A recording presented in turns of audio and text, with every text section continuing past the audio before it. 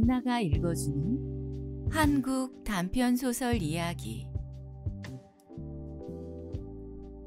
풀립 이효석 시인 월트 윌먼을 가졌음은 인류의 행복이다. 세상에 기적이란 게 있다면 요 며칠 동안의 제 생활의 변화를 두고 한 말 같아요. 이 끔찍한 변화를 기적이라고 밖엔 뭐라고 하겠어요. 부드러운 목소리가 어딘지 먼 하늘에서나 흘러나오는 듯 삼라만상과 구별되어 귓속에 스며든다. 준보는 고개를 돌리나 먹 같은 어둠 속에서는 그의 표정조차 분간할 수 없다. 얼굴이 달덩어리 같이 훤하고 쌍꺼풀 찐 눈이 포도알 같이 맑은 것은 며칠 동안의 인상으로 그려려니 짐작할 뿐이다. 실과 사귄 지 불과 한 주일이 넘을락 말락할 때다. 그건 꼭 내가 하고 싶은 말이요. 지금 신비 속에 살고 있는 것만 같아요. 이런 날이 있을 줄을 생각이나 해봤겠수? 행복은 불행이 그렇듯 아무 예고도 없이 벼락으로 닥쳐오는 모양이죠. 되레 걱정돼요. 불행이 뒤를 잇지 않을까 하는 그만큼 행복스러워요. 행복이고 불행이고 사람의 뜻 하나에 달렸지 누가 무엇이 우리들을 어떻게 할 수 있단 말이오. 사람의 의지같이 무서운 게 세상에 없는데. 그 말이 제게 안심과 용기를 줘요. 웬일인지 자꾸만 겁이 났어요. 낮과 밤이 너무도 아름다워요. 모든 게 요새는 꼭 우리 둘만을 위해서 마련돼 있는 것만 같고요. 방공 연습이 시작된 지 여러 날이 거듭되어 밤이면 거리는 등화관제로 어둠 속에 닫혀졌다. 몇 날의 밤의 소요를 계속하는 두 사람은 외딴 골목을 골라 걸으면서 단원들의 고함을 들을 때 마음에 거슬리는 것이 없지는 않았으나 평생의 중대한 시기에 서 있는 준보에게는 그 정도의 사생활의 특권쯤은 그다지 망발이 아니라고 생각되었다. 하물며 낮 동안의 일터에서 백성으로서의 직책과 의무를 다했다면야 그만큼의 밤의 시간은 자유로워도 좋을 법했다. 아내를 잃은 지 채 1년을 채우지 못했으나 그 한 해 동안의 정막이 준보에게는 지난 반생의 어느 때보다도 크고 쓰라린 것이었다. 사랑 속에 있으면서 때때로 느끼는 적막감은 오히려 사치한 감정이요. 사랑을 잃었을 때 비로소 사람의 사랑이란 것이 단순한 추상적인 용어가 아님을 절실히 느끼게 된다. 야심이며 희망이며 청춘의 모든 욕망을 가리고 바치고 걸러서 마지막으로 쳇바퀴 속에 남는 것이 역시 사랑임을 새삼스럽게 느낀 듯도 했다. 준보에게 사랑이 없는 것은 아니었다. 쉴 새 없이 뒤를 이어 그 무엇이 앞에 나타나고 생활 속에 스며들긴 했으나 그 전부가 반드시 사랑이라고만도 할 수 없었다. 사랑으로까지 발전하기 전에 선체로 끝나버린 적도 있었고 단순한 감상적인 경우도 있었고 또 일시의 허물에 지나지 않는 때도 있었다. 동무들이 그를 연복가라고 부러워하는 그런 의미의 행복감의 연속 속에 살아왔다고 생각되지 않았다.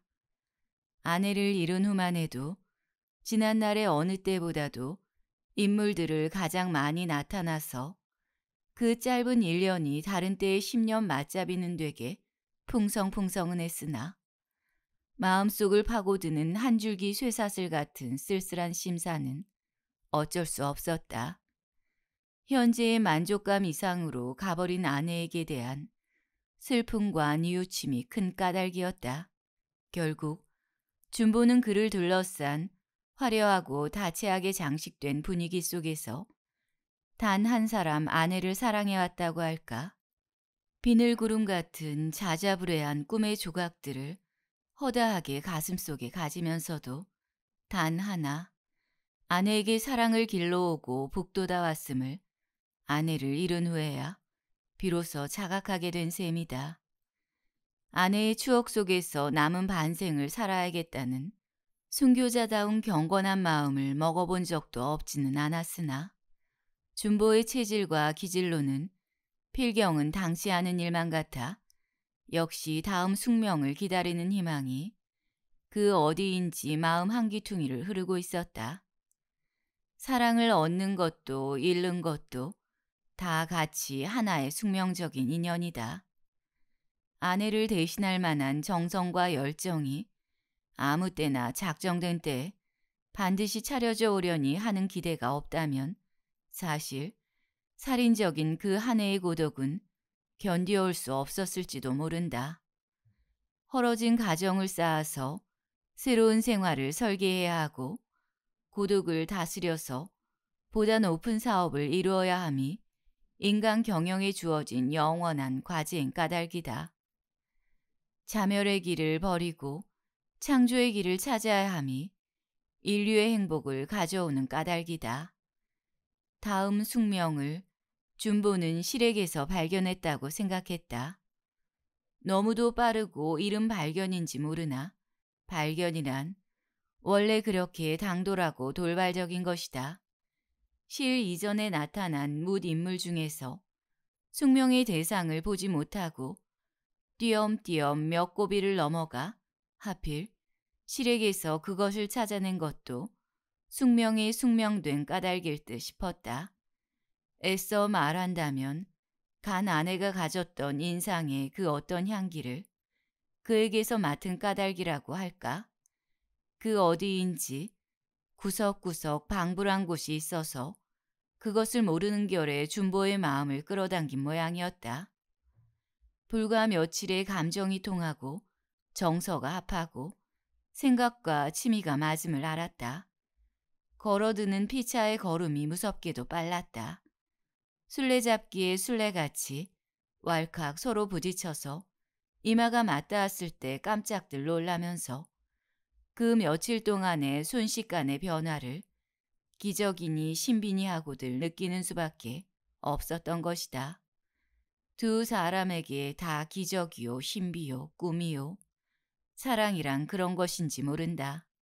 세상에서 꼭 한 사람, 제일 존경할 수 있는 분을 찾자는 것이 오늘까지의 저의 노력이었어요.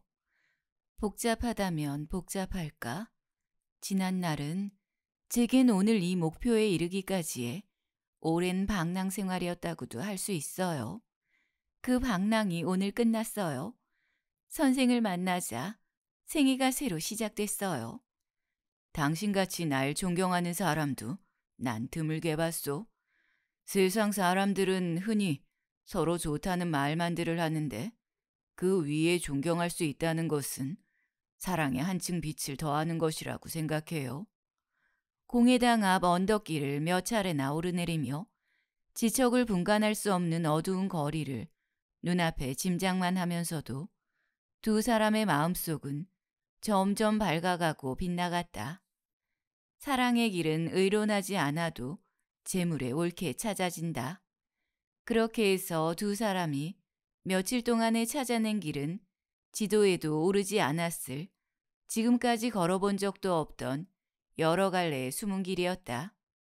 좁은 골목을 들어서 주택지대를 올라서니 바로 서기산 뒤턱이었다. 아직 낙엽지지 않은 나무들이 지름길 양편에 늘어서 어두운 속에서 한층 으슥하고 깊은 느낌을 준다. 산 위 주택에서 새어나오는 한 줄기의 창의 등불이 두 사람의 마음을 상징하는 듯 따뜻하고 포근하다. 커다란 한이 있어요. 왜 선생을 더 일찍이 못 만났던가 하는 제일 처음 만난 어른이 선생이었다면 얼마나 더 행복스러웠겠어요? 지난 날의 상처를 생각하면 몸에 소름이 돋구네요. 나무 그늘 아래에 이르자 실은 준보에게서 팔을 뽑고 몸을 떼면서 가늘게 한숨을 쉬는 것이 들렸다. 준보도 대강 말의 뜻을 짐작할 수 있어서 그 역 자기의 상처에 손이 닿는 것도 같은 일종의 야릇한 감정이 솟았다. 난 그런 소리 듣기를 좋아하지 않는데 괜히 다 아문 허물을 다시 다짜거릴 필요가 있을까? 좋아하시든 안 하시든 한 번은 모든 것 다 들어주셔야죠. 무지의 행복을 저도 잘 알아요. 그러나 정작 필요한 건 지식을 거친 이해와 달관이 아닐까요? 과거를 말한다면 피차 일반이지. 누군 샘 속에 솟아나온 동자인가요? 선생님이 그렇게 이해하시는 것과 똑같이야. 어디 세상이 봐요. 항상 오해와 악의를 더 많이 준비해 가지고 있는 세상인데요.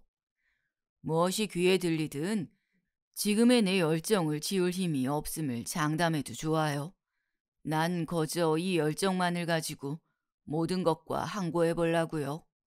그러나 실은 조심조심 한꺼풀씩 자기의 과거를 벗기기 시작했다. 시련이나 받는 선량한 교도와도 같이 준보는 마음을 다구지게 먹고 굳은 몸을 약간 떨고 있었다. 실은 19살까지의 명예롭지 못한 직업시대의 사정을 말하고 다음 세 사람의 이름을 들면서 각각 세 경우를 이야기했다. 대략 거리의 소문으로 스쳐들은 자료를 좀 더 자세히 고백한 것이었으나 준보는 침착한 태도에도 불구하고 그것을 듣는 동안 커다란 용기가 필요했다. 실업가와 문학 청년과 사회주의자 세 사람이 다 같이 실의 애정을 요구한 것은 인간으로서의 특권인 것이니 누가 만류할 수 있었으랴만 다만 슬프다면 준보가 그들보다 뒤져서 시를 알게 된 사실이었을까? 깊은 원시림 속에 아무도 모르게 맺힌 한 송이의 과실을 누가 원하지 않으랴만 세상은 도대체 복잡하다. 번거로운 것이다. 원시림 속의 과실이 어느 때까지나 눈에 안 뜨이고 몸에 맞힐 리 없는 것이다. 준보에게 필요한 것은 열정과 용기였다. 용기. 지금까지 그는 사랑에 이것이 필요한 것임을 모르고 지내왔다. 오늘 그것을 알아야 할 날이 온 것이다. 그의 인생은 한 테두리 몫을 더한 셈이다. 생각하면 울고만 싶어요. 왜 하필 인생이 그렇게 시작됐을까요? 실은 짜장 울려는 듯 나무 그늘 속으로 뛰어들더니 나무에 등을 기대고 고요히 섰다. 준보가 가까이 갔을 때 왈칵 몸을 던져오면서 코를 마셨다. 쥐는 손이 몹시 차다. 불쾌하셨으면 용서하셔요. 그러나 실상 지난 그것들을 아무것도 아니었어요. 사랑이 이렇다는 것은 오늘이야 처음 알았어요. 전 아무도 사랑하지 않았어요. 오늘 나서 처음으로 사랑을 알았어요. 이 말을 믿어주세요. 걱정할 게 없어요. 오늘의 당신을 사랑했지. 누가 지난 경력을 사랑했나요? 오늘의 그 얼굴과 교양과 취미를 사랑하고 인격을 존중해야 하는 것이지. 누가 지난 날을 캐자는 것인가요? 인제 세상이 둘의 새를 알고 펄쩍들 뛰고 와글와글 끓이면 어떻게 하시겠어요? 그땐 제가 싫어지겠죠? 사랑도 세상 눈치 봐가면서 해야 되나? 세상을 좀 멸시하면선 못 살아가나? 난 남의 비유만 맞추면서 사는 사람이 못 되는데. 실은 슬픈 속에서도 얼마간 마음이 놓이고 용기를 회복했는지 준보의 뜻대로 다시 팔을 걸고 길을 더듬어 내렸다. 거리는 여전히 어두우나 공습 해제의 틈을 타서 등불이 군데군데 비치어 약간 훤해졌다가는 다시 어두워지곤 했다. 흡사 두 사람의 마음속 같이 한결같지 못한 밤이었다. 내가 지금 사랑하는 게 음악가 위에 무엇이란 말이오? 동경 가서 공부하는 음악도를 사랑한 것이지. 지난 이력이 내게 아란 것이란 말이오? 원래 당신이 내 앞에 나타날 때 그런 자격 이외에 무엇으로 나타났게? 여학교가 있고 기숙사가 있고 교회당이 있고 병원이 있는 조용한 둔덕 골목길을 들어섰을 때 준보는 실의 심정을 좀 더 즐겁게 나꾸어 보고 싶었다. 이 알량한 음악가, 괜히 온전한 음악가로 여기셨다가 되려 실망이나 마셔요. 날 처음에 유혹해낼 때 음악의 이름을 빌지 않고 어째소? 도스카를 들으러 오라고 전화가 왔을 때 내가 얼마나 놀란 줄 아오? 준보가 웃는 바람에 실도 따라서 웃게 되어 그 웃음으로 말미암아 은겼던 마음 활짝 풀려지는 것도 같았다. 여학교 기숙사에서인지 문득 피아노 소리가 들려온 것도 그 한때의 호흡을 맞추어주는 셈이 되어서 기어가는 두 사람의 감성에 반주인 양 싶었다. 마음의 거리와 같이 몸의 거리도 밤의 힘을 빌어 가까울 대로 가까웠다. 토스카와 라보엠과 마담 버터플라이 등의 가극의 신판을 새로 구했으니 들으러 오지 않겠느냐는 뜻의 전화를 실에게서 받던 날 준보는 의외의 소식에 당황해 반날 동안 그 생각으로 머릿속이 가득 차 있었다. 그때까지 실은 만난 것이 서너 번. 그의 부드러운 밝은 인상을 가슴속에 간직해 두었을 뿐이던 준보에게는 문득 한 줄기의 당돌한 직각이 솟으면서 그것이 마음을 억세게 지배하게 되었다. 전화를 건 것은 아무 편이라도 좋은 것이다. 두 사람의 준비된 감정에 불을 지른 것이 실이었다는 것이 조금 장겁한 준보에게 되려 용기를 주는 결과가 되었던 것이다.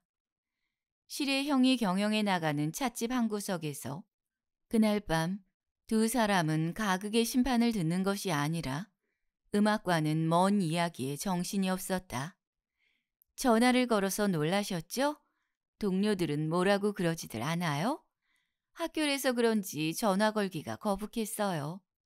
여자가 먼저 덜렁덜렁 나서는 걸 두렵다고 생각하시지 않았어요? 기뻤죠. 제가 못 거는 걸 먼저 걸어주셔서 물론 놀라기도 하고요. 어쩌면 그렇게 한 번도 가게에 안 내려오셨어요? 속으로 얼마나 은근히 기다렸게요. 왠지 한 달이 넘어갔거든요. 전 그래도 행여나 먼저 전화해 주시지나 않나 하고 생각하고 있었죠. 그 바람에 동경도 이렇게 늦었어요. 내일 떠난다, 모레 떠난다. 별로만 오면서 여름 휴가로 나왔다가 늦은 가을까지. 이게 무슨 꼴인지 모르겠어요. 오라, 참, 동경 가서 공부하시는 학생이죠? 음악 공부쯤 아무 데서 못하나요? 음악 공부쯤 그만두면 어떤가요? 하고는 못 물으셔요? 그럴 용기와 결심이 준비됐다면야. 경우에 따라선요.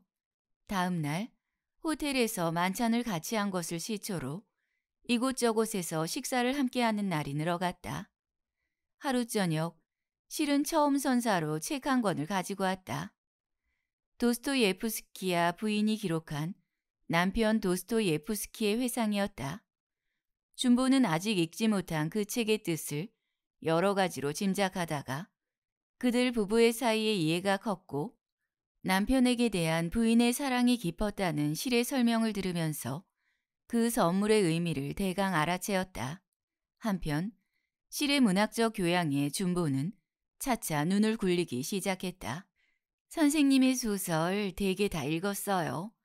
제 마음의 세상이 얼마나 넓어졌는지 모르겠어요. 생활 감정도 꼭 제 비위에 맞고요. 유래니, 관야니, 미란, 세란, 단주, 일마, 나자, 운파, 에라. 인물들의 모습이 지금 눈앞에 선이 떠올라요. 그런 변변치 못한 이름들 기억하지 말고 좀 더 고전 속의 중요한 인물들을 알아두는 편이 뜻이지 않을까요? 중요한 인물들이라는 게 뭐예요? 베아트리체니, 헬레니니, 햄릿이니, 그랜치이니? 왜 하필 그런 인물들만이 중요한가요? 제게는 어쩐지 일만이, 미란이니, 운판이 하는 이름들이 더 가깝고 친밀하게 들려오는데요. 어쩌면 그렇게 고전 문학에 횡하단 말이오? 음악가가 아니고 문학가인 것처럼?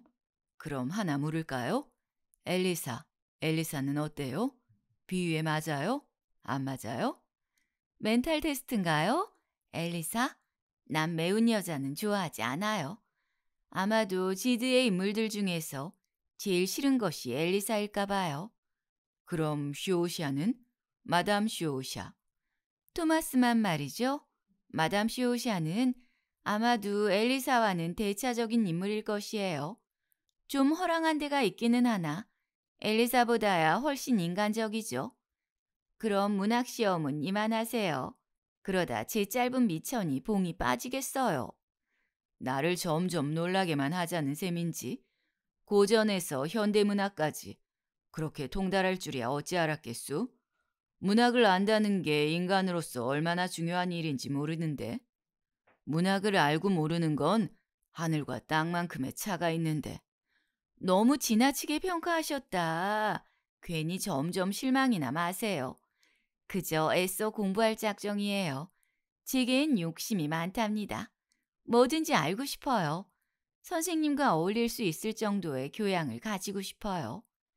실의 결심을 장하다 생각하며 그의 철저한 마음의 준비에 준보는 놀라는 수밖에 없었다.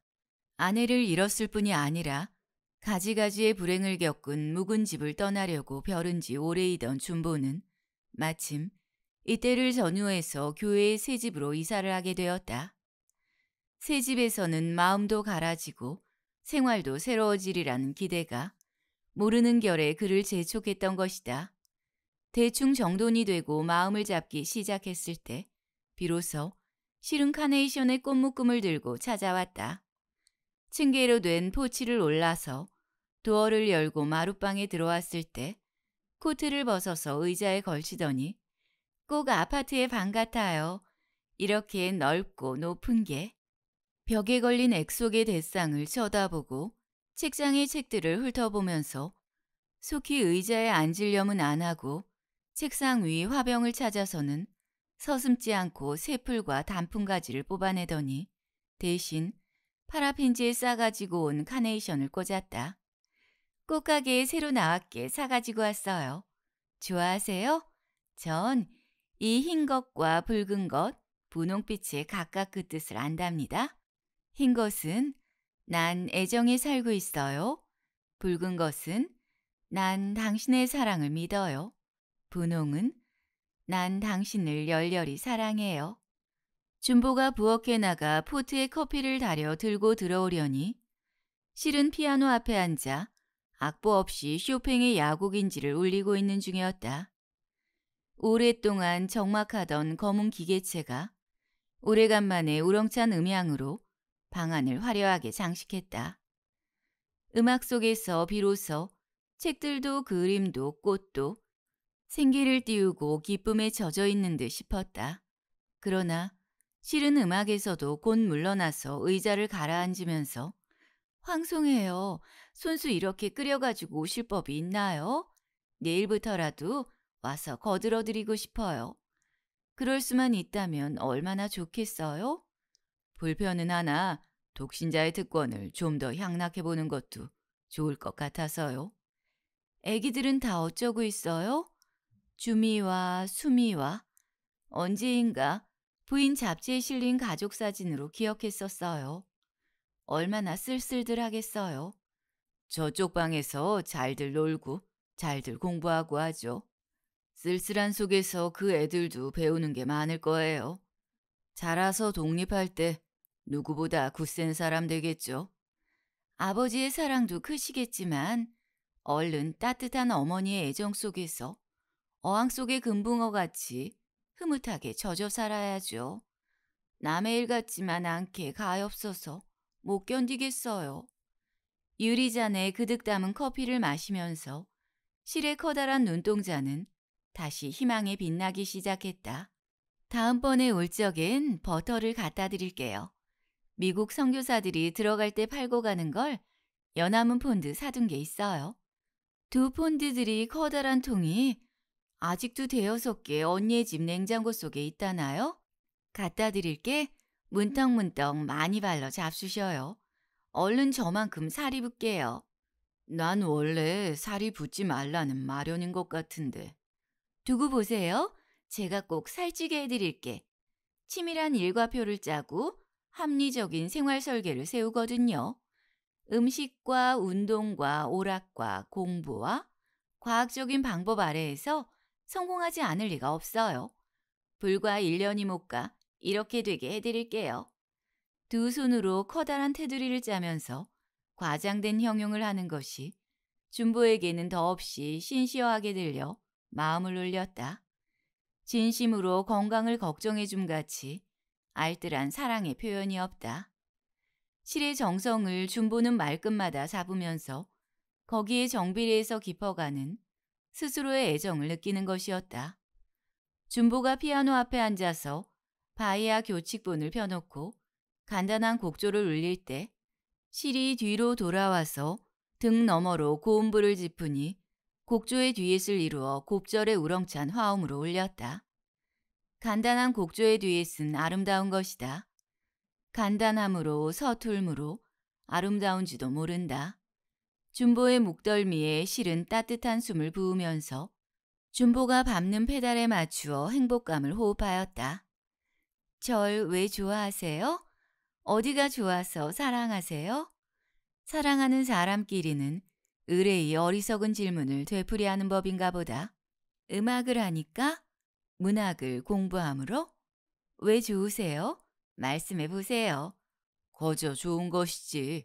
사랑의 이유와 조건이 뭐에 있겠수? 실례의 말이지만 누가 그리 알량한 음악가고 끔찍한 문학가라고 여기는데요. 그런 모든 것을 떠나서 단지 인간으로서 사랑할 수 있는 것이죠. 물론 저도 그 말이 듣고 싶었어요. 문학을 좋아하지 않는다고 절 좋아하지 않으셨다면 생각만 해도 무서운 일이에요.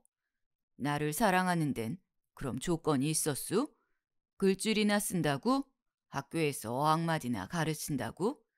제게도 마찬가지로 소설가가 아니래도 좋았고 교수가 아니래도 상관없고 아니 들에서 바가는 지혜비였던들 제 마음이 움직이지 않았겠어요? 그야 서로 교수고 소설가고 음악가고 문학소녀의 한 것이 보다 좋긴 하지만 그렇지 않단들 왜 사랑이 없었겠어요? 조건도 이유도 없고 거저 맹목적인 것 그런 것만이 참 사랑이라고 생각해요. 조금 낡은 투지만요. 조건은 사랑이 있은 후에 천천히 오는 문제가 아닐까요? 또 한 가지 알아둬야 할 것은 난 가난하다는 것. 지금도 가난하지만 앞으로도 커다란 유산이 굴러들 가망이 지금 같아선 없다는 것. 따라서 세속적인 뜻으로 당신을 행복하게 하기는 어려우리라는 것. 제가 사치와 호사를 원한다면 벌써 제 한 몸 처치했지. 왜 이때 이날까지 기다리고 있었겠어요? 제 나이가 벌써 4분지 1세기를 잡아먹었는데요. 이래 배워도 제게도 이상도 있고 안목도 보통 사람과는 다르답니다. 조건, 조건 하시니 선생께 요구하는 조건이 꼭 한 가지 있다면 그건 언제까지든지 절 사랑해 줍소서 하는 것. 결코 한눈을 파시지 말고 평생 저만을 생각해 주셔야 할 것이에요. 그야 물론이지. 그까짓 게 다 조건인가? 한눈을 팔다니 누가 그렇게 장난꾼이랍디까? 말 마세요. 거리의 소문으로 죄다 알고 있어요. 대단한 연복가시라고요? 그러나 전 그걸 그리 슬퍼하진 않아요. 이왕이면 여자에게도 인기가 있는 것이 좋죠. 촌청거리고 평생에 연애 한 번도 못 차려지는 그런 사내라는 건 생각만 해도 진저리가 나요. 실례지만 한 가지 물을 게 놓여 마시고 대답해 주세요. 악보의 페이지를 번기니 다음 곡조는 알레그로다. 그 빠른 멜로디를 내기에 분주해서 두 사람의 마음은 반은 음악 속에 뺏기어 들어갔다. 로테와의 관계는 어떻게 하겠어요? 그 유명한 병호생의 로테 말이에요. 말끔히 청산되셨나요?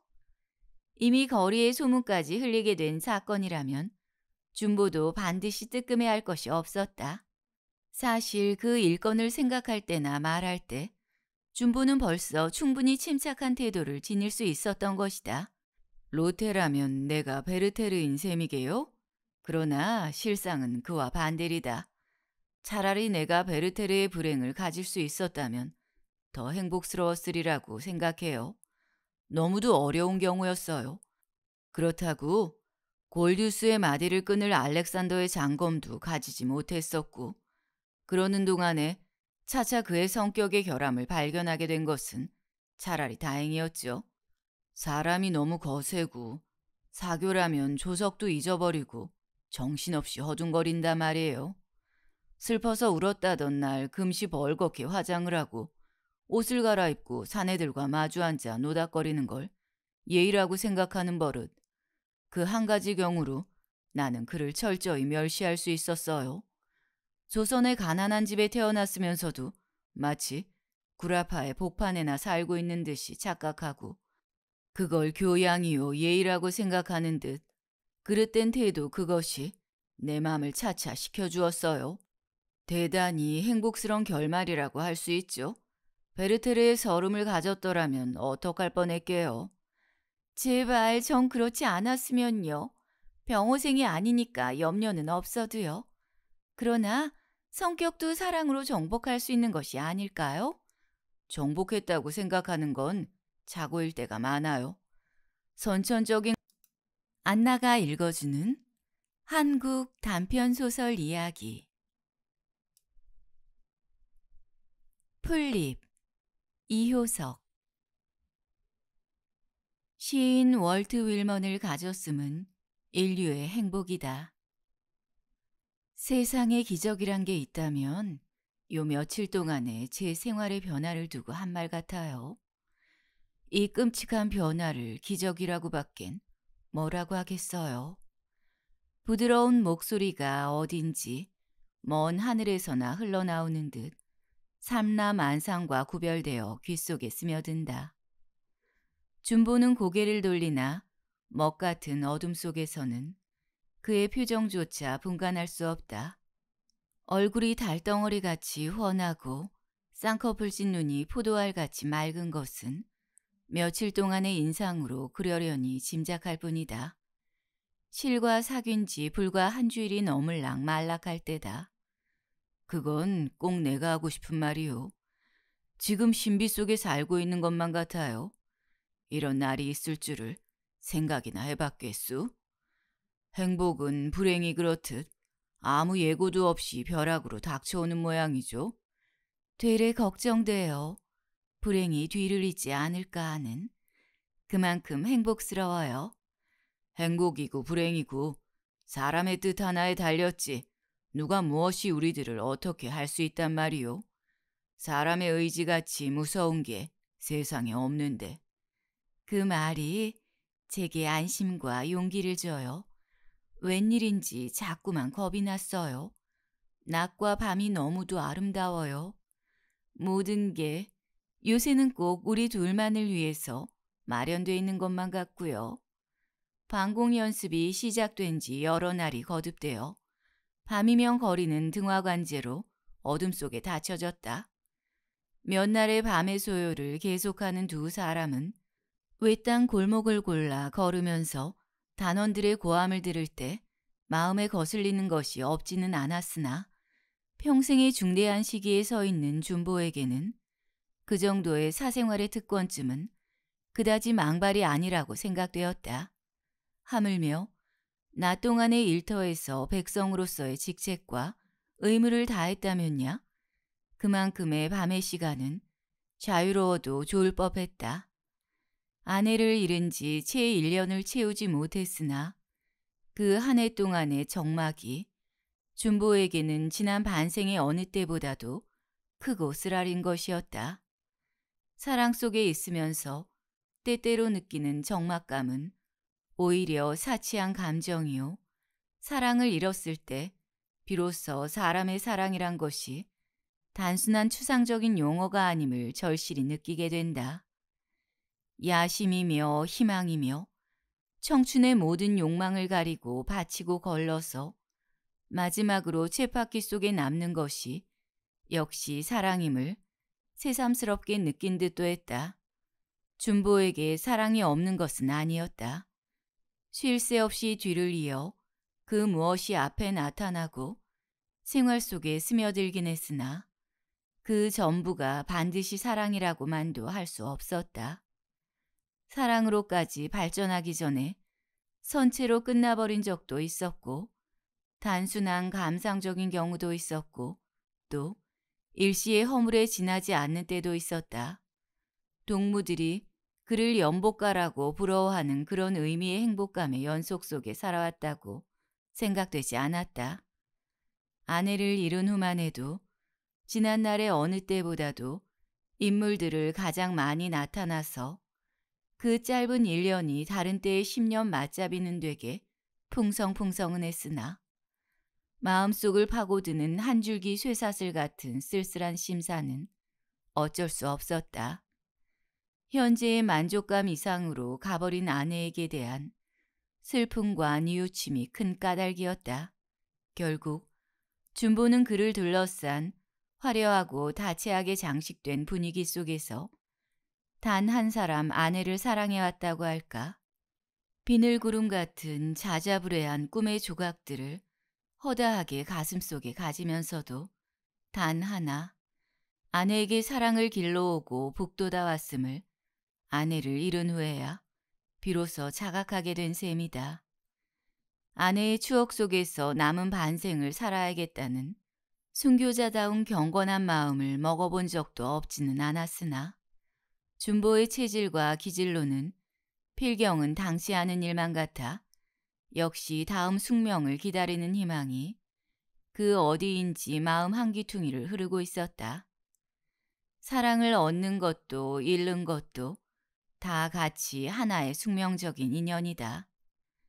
아내를 대신할 만한 정성과 열정이 아무 때나 작정된 때 반드시 차려져 오려니 하는 기대가 없다면 사실 살인적인 그 한 해의 고독은 견디어올 수 없었을지도 모른다. 헐어진 가정을 쌓아서 새로운 생활을 설계해야 하고 고독을 다스려서 보다 높은 사업을 이루어야 함이 인간 경영에 주어진 영원한 과제인 까닭이다. 자멸의 길을 버리고 창조의 길을 찾아야 함이 인류의 행복을 가져오는 까닭이다. 다음 숙명을 준보는 실액에서 발견했다고 생각했다. 너무도 빠르고 이른 발견인지 모르나 발견이란 원래 그렇게 당돌하고 돌발적인 것이다. 실 이전에 나타난 묻 인물 중에서 숙명의 대상을 보지 못하고 띄엄띄엄 몇 고비를 넘어가 하필 실에게서 그것을 찾아낸 것도 숙명이 숙명된 까닭일 듯 싶었다. 애써 말한다면 간 아내가 가졌던 인상의 그 어떤 향기를 그에게서 맡은 까닭이라고 할까? 그 어디인지 구석구석 방불한 곳이 있어서 그것을 모르는 결에 준보의 마음을 끌어당긴 모양이었다. 불과 며칠의 감정이 통하고 정서가 합하고 생각과 취미가 맞음을 알았다. 걸어드는 피차의 걸음이 무섭게도 빨랐다. 술래잡기의 술래같이 왈칵 서로 부딪혀서 이마가 맞닿았을 때 깜짝들 놀라면서 그 며칠 동안의 순식간의 변화를 기적이니 신비니 하고들 느끼는 수밖에 없었던 것이다. 두 사람에게 다 기적이요, 신비요, 꿈이요. 사랑이란 그런 것인지 모른다. 세상에서 꼭 한 사람, 제일 존경할 수 있는 분을 찾자는 것이 오늘까지의 저의 노력이었어요. 복잡하다면 복잡할까? 지난 날은 제겐 오늘 이 목표에 이르기까지의 오랜 방랑 생활이었다고도 할 수 있어요. 그 방랑이 오늘 끝났어요. 선생을 만나자 생애가 새로 시작됐어요. 당신같이 날 존경하는 사람도 난 드물게 봤소. 세상 사람들은 흔히 서로 좋다는 말만들을 하는데 그 위에 존경할 수 있다는 것은 사랑에 한층 빛을 더하는 것이라고 생각해요. 공해당 앞 언덕길을 몇 차례나 오르내리며 지척을 분간할 수 없는 어두운 거리를 눈앞에 짐작만 하면서도 두 사람의 마음속은 점점 밝아가고 빗나갔다. 사랑의 길은 의론하지 않아도 재물에 옳게 찾아진다. 그렇게 해서 두 사람이 며칠 동안에 찾아낸 길은 지도에도 오르지 않았을 지금까지 걸어본 적도 없던 여러 갈래의 숨은 길이었다. 좁은 골목을 들어서 주택지대를 올라서니 바로 서기산 뒤턱이었다. 아직 낙엽지지 않은 나무들이 지름길 양편에 늘어서 어두운 속에서 한층 으슥하고 깊은 느낌을 준다. 산 위 주택에서 새어나오는 한 줄기의 창의 등불이 두 사람의 마음을 상징하는 듯 따뜻하고 포근하다. 커다란 한이 있어요. 왜 선생을 더 일찍이 못 만났던가 하는 제일 처음 만난 어른이 선생이었다면 얼마나 더 행복스러웠겠어요? 지난 날의 상처를 생각하면 몸에 소름이 돋구네요. 나무 그늘 아래에 이르자 실은 준보에게서 팔을 뽑고 몸을 떼면서 가늘게 한숨을 쉬는 것이 들렸다. 준보도 대강 말의 뜻을 짐작할 수 있어서 그 역 자기의 상처에 손이 닿는 것도 같은 일종의 야릇한 감정이 솟았다. 난 그런 소리 듣기를 좋아하지 않는데 괜히 다 아문 허물을 다시 다짝거릴 필요가 있을까? 좋아하시든 안 하시든 한 번은 모든 것 다 들어주셔야죠. 무지의 행복을 저도 잘 알아요. 그러나 정작 필요한 건 지식을 거친 이해와 달관이 아닐까요? 과거를 말한다면 피차 일반이지. 누군 샘 속에 솟아나온 동자인가요? 선생님이 그렇게 이해하시는 것과 똑같이야. 어디 세상이 봐요? 항상 오해와 악의를 더 많이 준비해 가지고 있는 세상인데요. 무엇이 귀에 들리든 지금의 내 열정을 지울 힘이 없음을 장담해도 좋아요. 난 거저 이 열정만을 가지고 모든 것과 항고해 보려고요. 그러나 실은 조심조심 한꺼풀씩 자기의 과거를 벗기기 시작했다. 시련이나 받는 선량한 교도와도 같이 준보는 마음을 다구지게 먹고 굳은 몸을 약간 떨고 있었다. 실은 19살까지의 명예롭지 못한 직업시대의 사정을 말하고 다음 세 사람의 이름을 들면서 각각 세 경우를 이야기했다. 대략 거리의 소문으로 스쳐들은 자료를 좀 더 자세히 고백한 것이었으나 준보는 침착한 태도에도 불구하고 그것을 듣는 동안 커다란 용기가 필요했다. 실업가와 문학 청년과 사회주의자 세 사람이 다 같이 실의 애정을 요구한 것은 인간으로서의 특권인 것이니 누가 만류할 수 있었으랴만 다만 슬프다면 준보가 그들보다 뒤져서 시를 알게 된 사실이었을까? 깊은 원시림 속에 아무도 모르게 맺힌 한 송이의 과실을 누가 원하지 않으랴만 세상은 도대체 복잡하다. 번거로운 것이다. 원시림 속의 과실이 어느 때까지나 눈에 안 뜨이고 몸에 맞힐 리 없는 것이다. 준보에게 필요한 것은 열정과 용기였다. 용기. 지금까지 그는 사랑에 이것이 필요한 것임을 모르고 지내왔다. 오늘 그것을 알아야 할 날이 온 것이다. 그의 인생은 한 테두리 몫을 더한 셈이다. 생각하면 울고만 싶어요. 왜 하필 인생이 그렇게 시작됐을까요? 실은 짜장 울려는 듯 나무 그늘 속으로 뛰어들더니 나무에 등을 기대고 고요히 섰다. 준보가 가까이 갔을 때 왈칵 몸을 던져오면서 코를 마셨다. 쥐는 손이 몹시 차다. 불쾌하셨으면 용서하셔요. 그러나 실상 지난 그것들을 아무것도 아니었어요. 사랑이 이렇다는 것은 오늘이야 처음 알았어요. 전 아무도 사랑하지 않았어요. 오늘 나서 처음으로 사랑을 알았어요. 이 말을 믿어주세요. 걱정할 게 없어요. 오늘의 당신을 사랑했지. 누가 지난 경력을 사랑했나요? 오늘의 그 얼굴과 교양과 취미를 사랑하고 인격을 존중해야 하는 것이지. 누가 지난 날을 캐자는 것인가요? 인제 세상이 둘의 새를 알고 펄쩍들 뛰고 와글와글 끓이면 어떻게 하시겠어요? 그땐 제가 싫어지겠죠? 사랑도 세상 눈치 봐가면서 해야 되나? 세상을 좀 멸시하면선 못 살아가나? 난 남의 비유만 맞추면서 사는 사람이 못 되는데.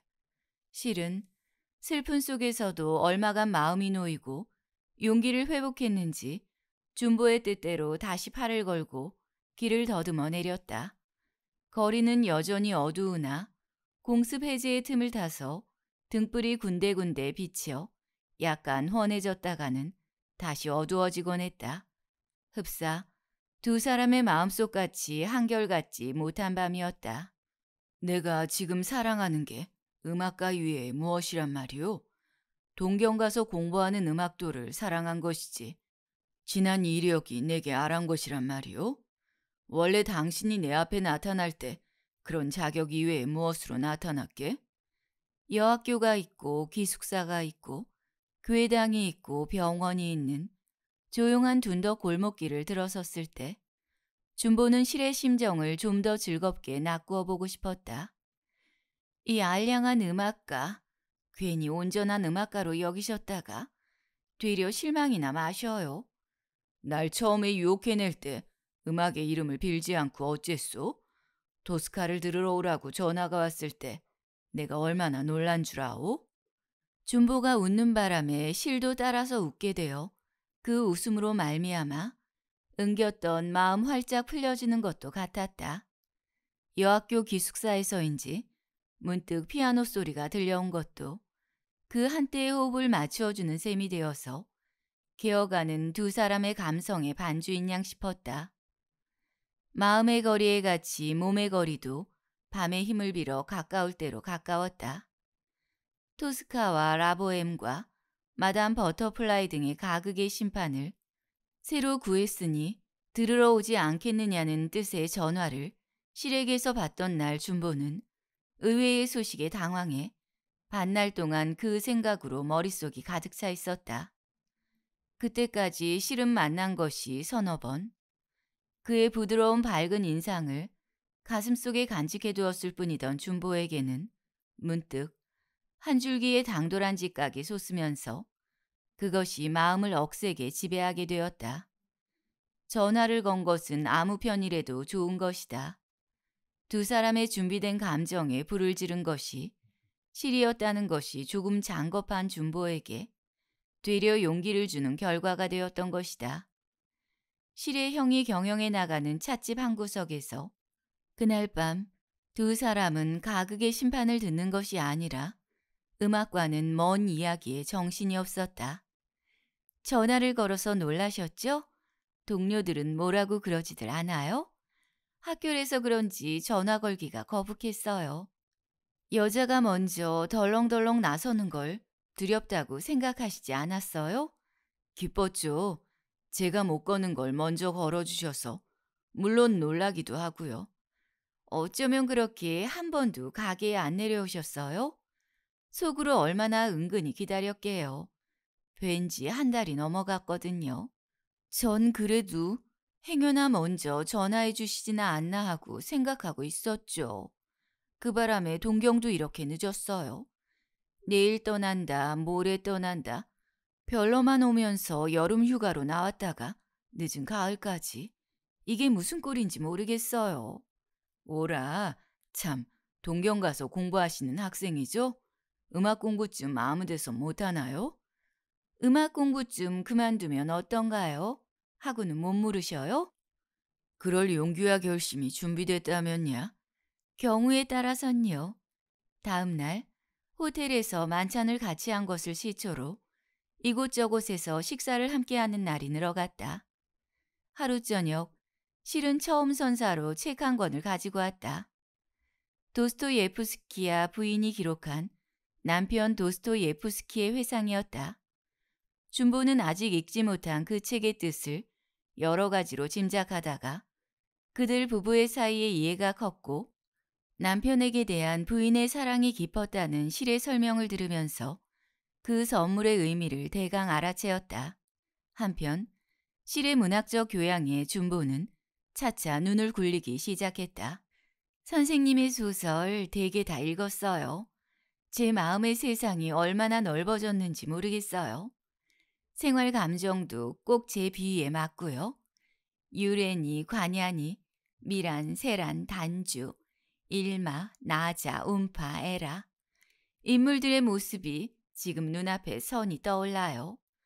그런 변변치 못한 이름들 기억하지 말고 좀 더 고전 속의 중요한 인물들을 알아두는 편이 뜻이지 않을까요? 중요한 인물들이라는 게 뭐예요?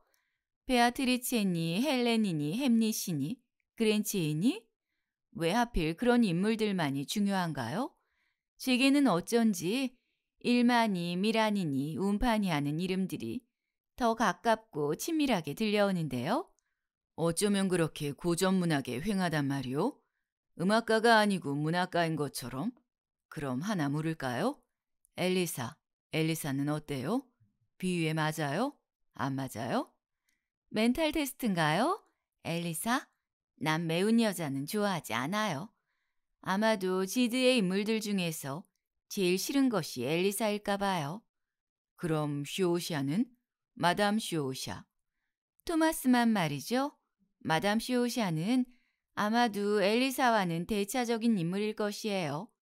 좀 허랑한 데가 있기는 하나 엘리사보다야 훨씬 인간적이죠. 그럼 문학 시험은 이만하세요. 그러다 제 짧은 미천이 봉이 빠지겠어요. 나를 점점 놀라게만 하자는 셈인지 고전에서 현대문학까지 그렇게 통달할 줄이야 어찌 알았겠소?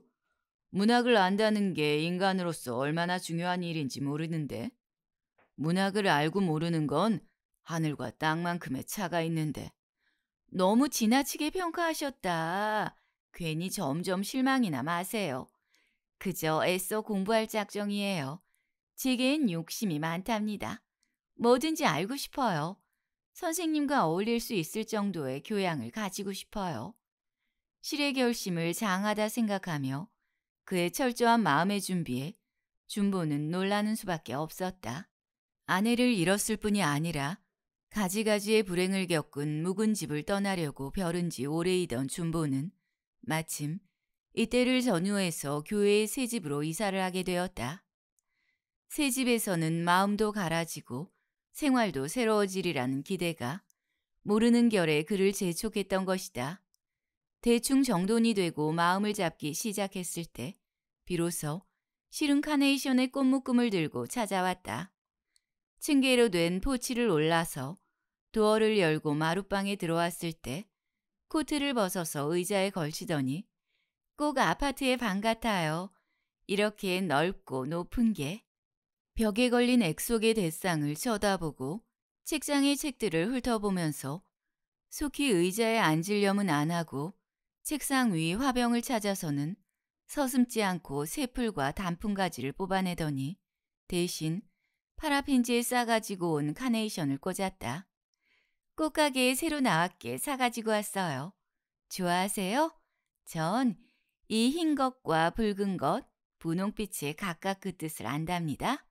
흰 것은 난 애정에 살고 있어요.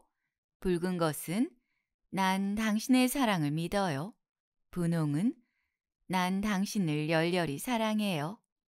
준보가 부엌에 나가 포트에 커피를 달여 들고 들어오려니 실은 피아노 앞에 앉아 악보 없이 쇼팽의 야곡인지를 울리고 있는 중이었다. 오랫동안 적막하던 검은 기계체가 오래간만에 우렁찬 음향으로 방안을 화려하게 장식했다. 음악 속에서 비로소 책들도 그림도 꽃도 생기를 띄우고 기쁨에 젖어 있는 듯 싶었다. 그러나 실은 음악에서도 곧 물러나서 의자를 가라앉으면서 황송해요. 손수 이렇게 끓여가지고 오실 법이 있나요?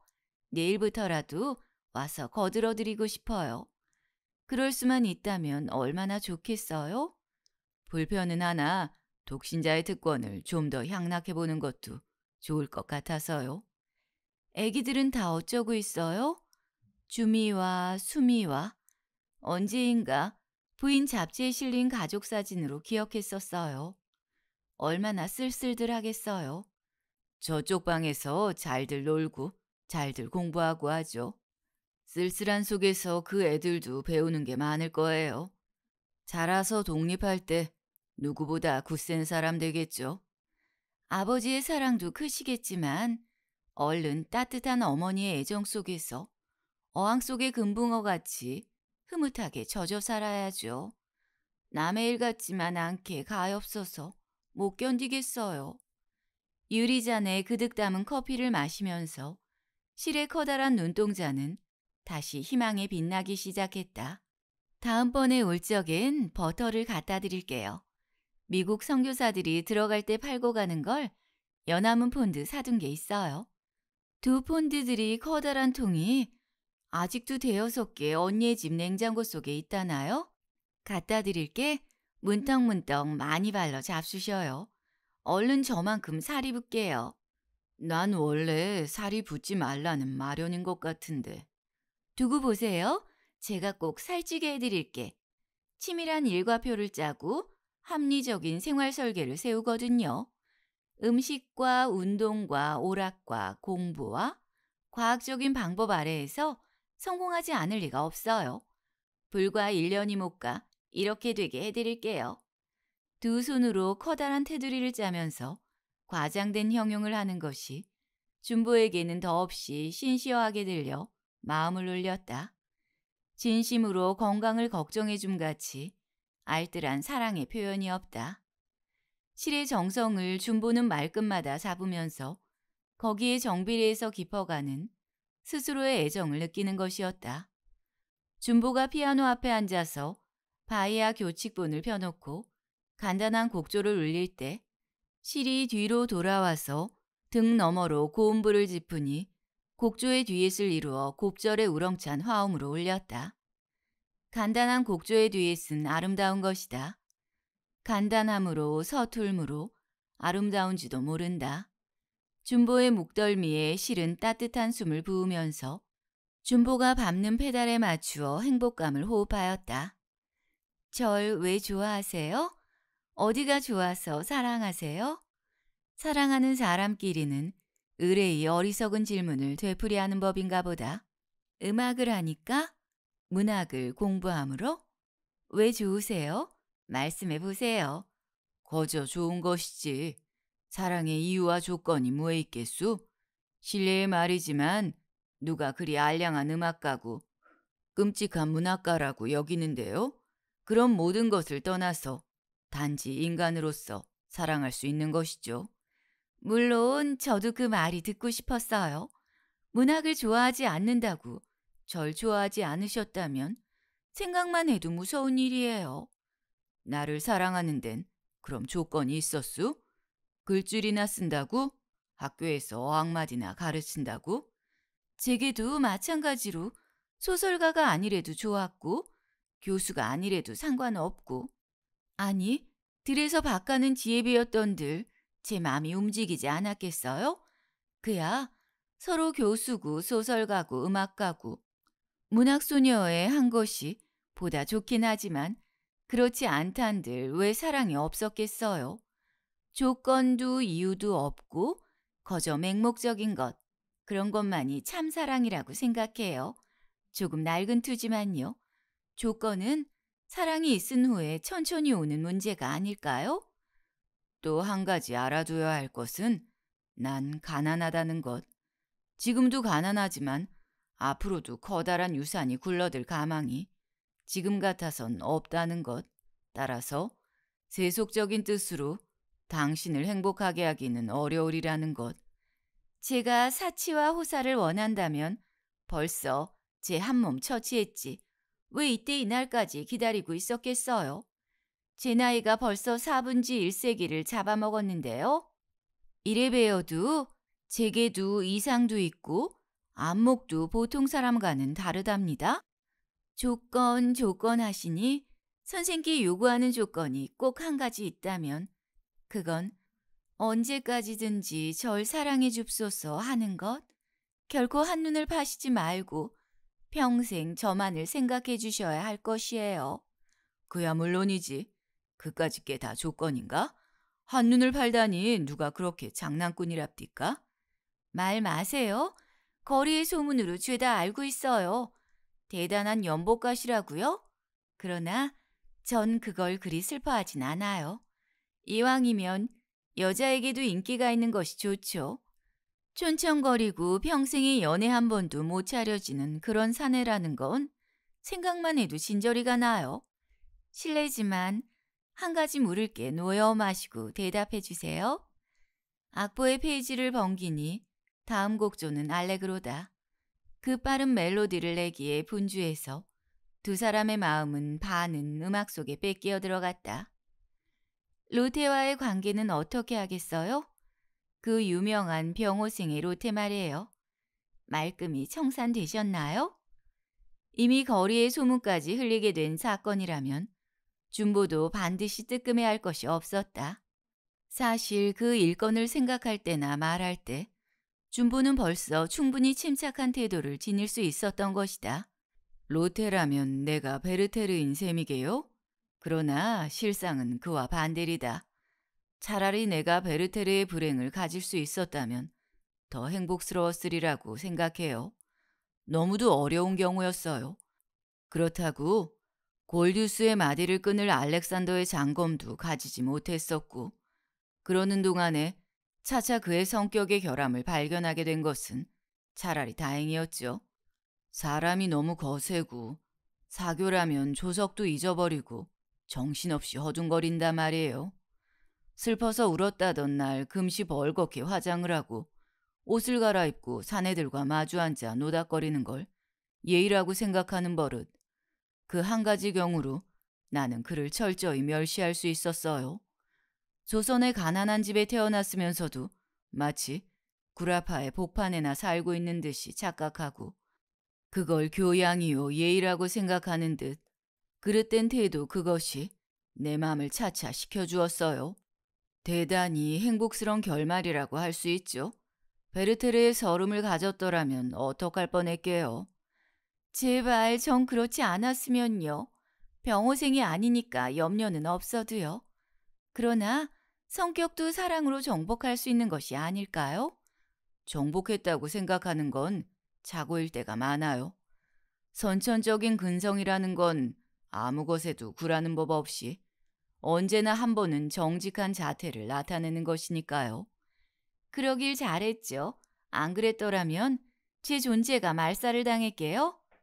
질투의 감정을 아직은 차곡차곡 포개서 가슴 속에 간직해 두었는지 어쨌는지 비교적 단박한 실의 태도였다.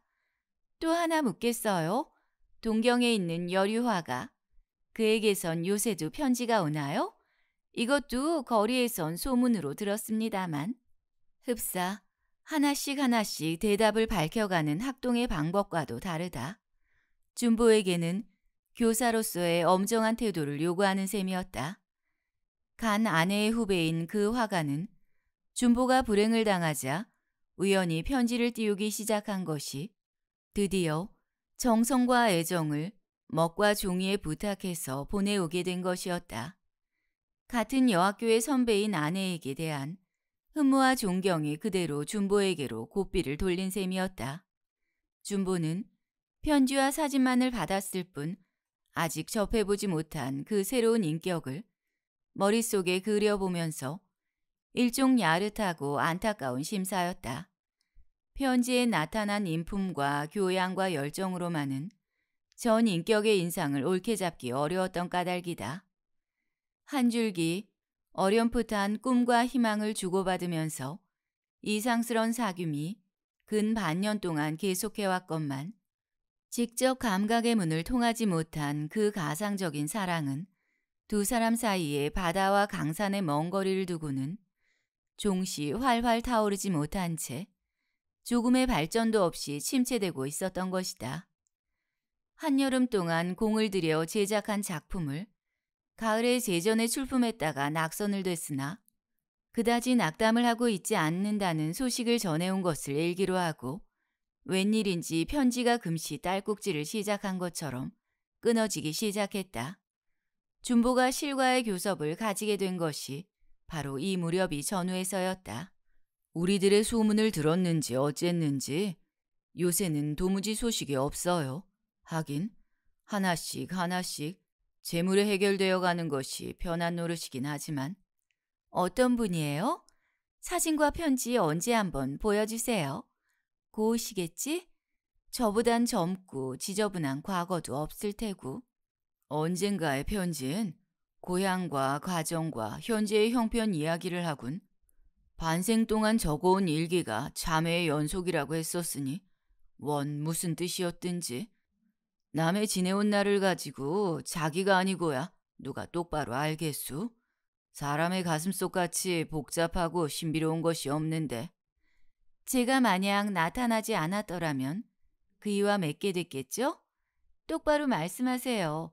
그러고 보면 모든 게 거저 인연만 같아요. 결말이 어떻게 됐을지를 누가 알겠수? 사람의 앞니를 아무것도 헤아릴 수 없는 게 사랑의 먼 거리같이 금물은 없다고 생각해요. 모르는 동안에 금시 눈앞에 무엇이 일어나 있는지 알 길이 있어야죠. 가을에 이곳까지 스케치 여행을 나오겠다고 벼르던 그에게 행여나 불길한 변이나 일어나지 않았으면 하고 원해요. 그림과 음악과 어느 편을 더 좋아하세요? 음악을 좋아하시는 건 알아도 그림도 좋아하시죠? 그렇죠? 뭐요, 그건 계정이란 말이요? 시리도 계정을 부릴 줄 아나? 시리, 실리, 바보. 바보도 그런 쓸데없는 감정의 노예가 되나? 실은 문득 피아노를 멈추더니 그 자세대로 준보의 등에 왈칵 전신을 의지해버리고 말았다. 준보는 앞으로 쓰러지려는 몸을 바로 세우고 어깨 너머로 넘어온 실의 두 손을 잡았다. 다 잊어주세요. 저 이외의 것은 죄다. 이 머릿속에서 지워주세요. 저의 꼭 하나 바라는 조건이 그것이에요. 자, 약속하세요. 앞으론 평생 한눈을 팔지 않겠다고. 저만을 생각하겠다고. 사랑은 왜 두 사람만의 뜻과 주장으로서 족한 것이 못 될까? 두 사람 사이에 세상이라는 쓸데없고 귀찮은 협잡물이 끼어들어옴을 알았을 때 준보는 움찔해하며 불쾌한 느낌이 전신을 스쳐올렀다. 실과 약속을 한 지 불과 며칠을 넘지 않아 준보는 친구 윤벽도의 방문을 받은 순간 즉각적으로 신경을 건드리는 것이 있었다. 자네 요새 무엇을 하고 있었나? 거리는 자네들 소문으로 온통 발끈 뒤집혔으니 기쁜 때나 슬픈 때나 신변에서 가장 가까이 돌면서 허물없는 사귐을 맺어오는 그 친우의 말이라면 대개는 귀를 기울여 오는 사이였건만 이번 경우만은 웬일인지 그 첫마디가 벌써 준보의 마음에 섬찟하게 울려오는 것이었다. 뭔 말인가? 우리들의 사랑 말인가? 사랑은 다 뭐야? 신중하게 사람을 가려가면서 사랑을 하든지 어쨌든지 하지. 사람이 왜 그리 자기 몸을 아낄 줄 모르나? 옥시의 집안이 어떻고 과거가 어떤 줄이나 알고서 그러나? 알고 말고 아니까 더욱 사랑하게 됐네. 자넨 지방과 과거만을 알았지. 본인의 인격과 교양과 기품은 모르는 모양이지. 나는 과거를 사랑하는 것이 아니라 현재의 인격을 사랑하는 것이네. 풍부한 교양에 접하면 자네쯤은 땅을 치고 부끄러워해야 하리. 준보는 웬일인지 버럭 한거하고 싶은 생각이 솟아 어세를 높여보았다. 말하는 꼴이 벌써 새가 깊어진 모양 같네만 자네 생각만 옳다고 하지 말고 세상의 의견에도 한 번은 귀를 기울여 봐야 하지 않겠나. 결혼까지 간단 말을 듣고 나도 놀랍네만 거리에서 만나는 동무마다 한 사람이나 찬성하는 이가 있는 줄 아나? 다들 입들을 벌리고 입맛을 다실 뿐이지. 자네는 예술가니까 독창 정신을 실생활에도 살려서 상식을 무시하고 남 안 하는 괴이한 짓도 해보고 때로는 괜히 속세에 반항도 하고 싶은 충동을 느끼는 줄 짐작은 하네만 평생의 중대한 일을 그렇게 경솔히 작정해서야 쓰겠나? 소태를 먹어도 제멋인데 왜 남의 일을 가지고 걱정들을 하라나? 도대체 난 세상의 말이라는 걸 일종의 저널리즘이라고밖에 생각하지 않네. 자넨 진정으로 나를 위해서 걱정하는 줄을 아네만 자네가 거리에서 만나는 열 사람이면 열 사람이 다 결국은 경박한 가십장이밖에는 못 된단 말이야.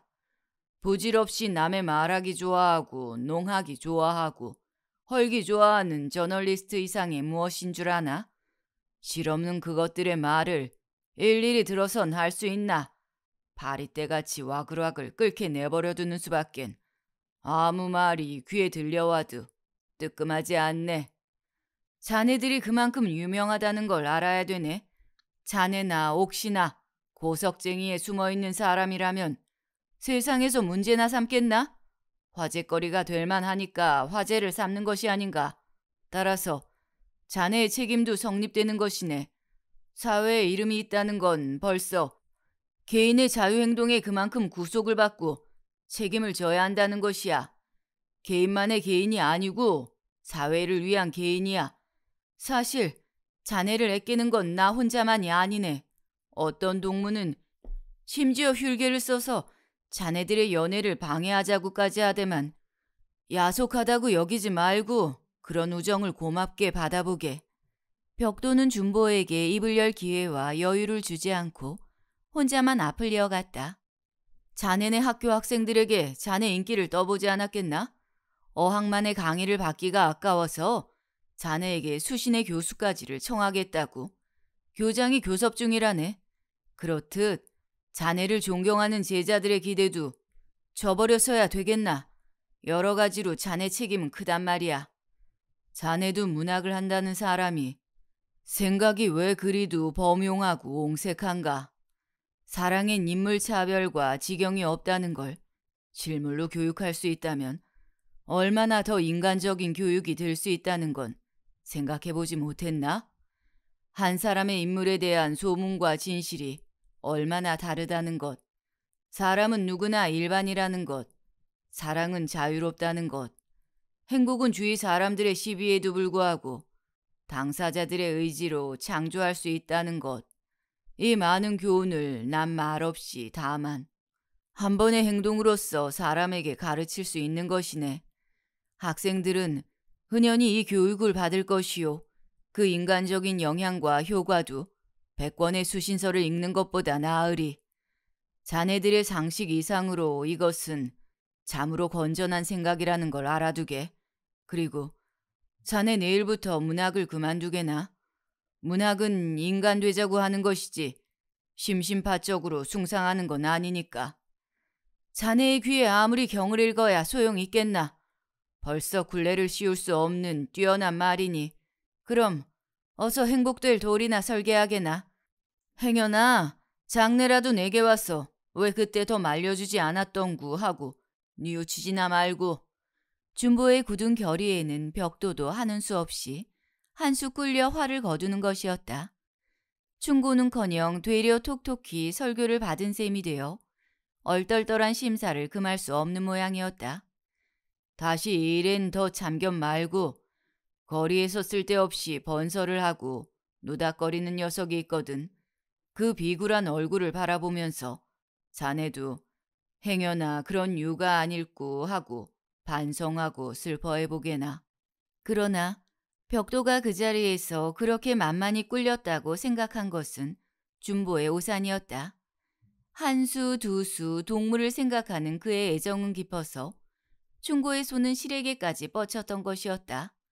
다음 날 밤 준보가 가게 2층에서 실을 만났을 때 웃음을 잊지 않는 얼굴에 커다란 눈이 깜빡거리지도 않고 동그랗게 노염을 품고 있었다. 어제 벽도 씨가 제게 와서 무엇을 한줄 아세요? 벽도가 적극적으로 활동을 시작한 모양이군. 이 땅의 예술가 준보 죽이지 말라고요. 준보는 한 사람의 차지가 아니고 사회에 소속한 사람이라고요. 어휴, 무서운 소리. 누가 선생을 후려쳐가지고 먼 세상으로 내뺀단 말인가요? 제게로 오신다고 그란 줄못 쓰게 되고 세상에서 매장을 당한단 말인가요? 모든 책임을 제게만 씌운단 말이에요. 대체 그이가 무엇이게 우리들 일에 그렇게 발벗고 나서는 것일까요? 근본은 착하고 정직한 사람인데 진정으로 생각해 준다는 것이 말이 원체 투박스러워 그런 인상을 주게 되나 부. 그래, 뭐라고 대답했소? 다짜고짜로 그 말인데 대답을 어떻게 해요? 거저 멍하니 입만 벌리고 있었죠. 선생의 건강이 염려되는데 각별히 내조의 공을 이룰 자신이 있느냐는 둥 제가 편지를 전문학교 교수보다도 잘 쓴다고 선생이 칭찬하셨다는데 그 정도의 교양에 안심해서는 안 된다는 등 별별 말이 많았어요. 거저 저 하나 죽일 사람 됐죠. 거리에서 건둥거리는 보통 여자로밖엔 알아주지 않는 것이 분해서 못 견디겠어요. 편지 잘 쓰는 건 잘 쓰는 거지. 실력에도 애누리가 있을까? 이름만 전문학교 선생이랍시고 사실 편지 한 장 옳게 못 쓰는 위인이 얼마나 많게. 웬일인지 난 그런 떳떳지 못한 조그만 사회적 사실에 대해서도 노여워지면서 항의하고 싶은 생각이 솟구네요. 편지의 실력뿐이 아니라 당신이 일상 쓰는 말에 대해서도 그 아름다운 용어와 발음을 효과 있게 살리려고 비상한 주의와 노력을 하는 것을 난 무엇보다도 높게 평가하려고 해요. 내가 간혹 이상스런 형용사를 쓸 때 그것을 곧 되물어 가지고 기억하려고 하는 기특한 생각. 세상 사람이 소홀히 여기고 주의할 줄 모르는 그런 조그만 각오에서부터 나날이 아름다운 생활은 창조되어 나간다고 생각해요. 벽도가 뭐라고 하든지 간에 충분한 자신을 가져도 좋아요.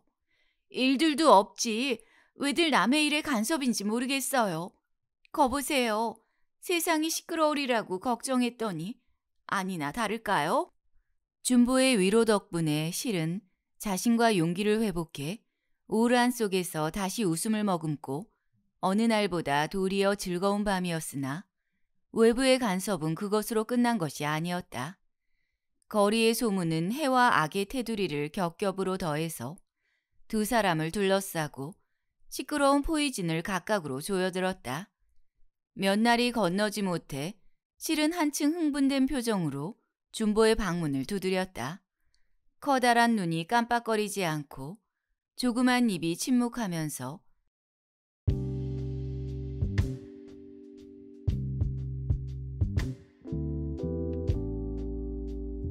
잠시는 가재온 신부같이 의자에 잠자코만 있었다. 오늘 길에서 옛날 동무 명주를 만났더니 또 그 소리를 하겠나요? 남편에게서 들었다는데